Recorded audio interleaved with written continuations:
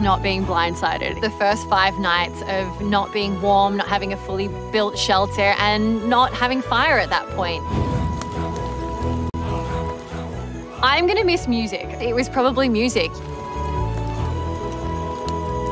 I will never leave this competition, not until you drag me off that final challenge. I left the game on day 19, just short of merge.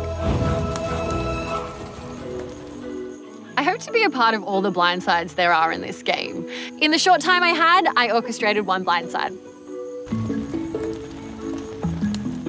An acai bowl with all the toppings and extra peanut butter.